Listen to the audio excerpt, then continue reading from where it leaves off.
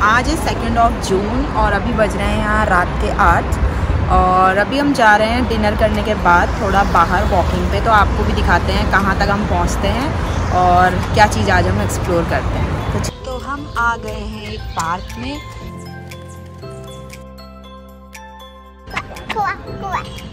तो अभी जो प्लेग्राउंड मैंने आपको दिखाया था वो ये है।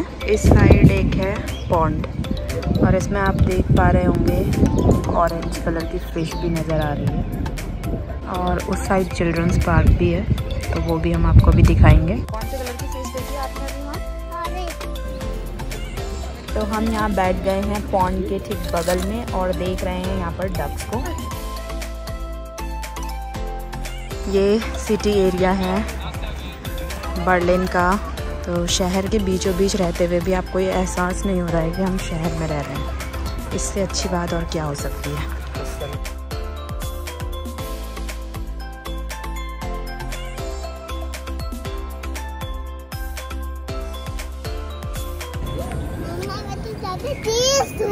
तो ये हम पहुँच गए हैं पार्क में और यहाँ मिशी झूलने भी लगी है। तो बहुत बड़ा पार्क है।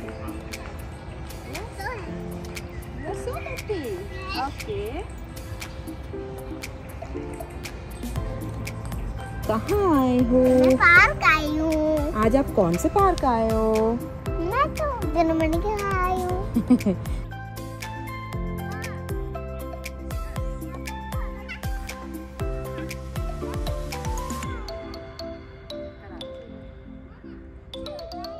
तो जैसा कि आप देख सकते हो कितनी हरियाली के बीच में मैं बैठी हूँ। बस मज़ा आ गया एकदम फ्रेश एयर है और एकदम बहुत अच्छा इन्वायरमेंट यहाँ का हमें लगा।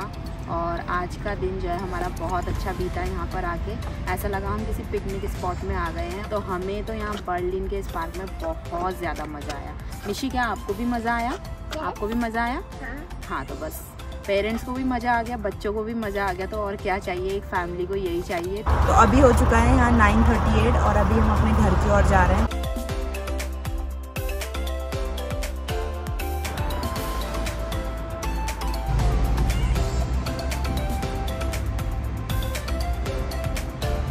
तो ये है यहाँ रात 10 बजे ट्रैफ़िक का हाल।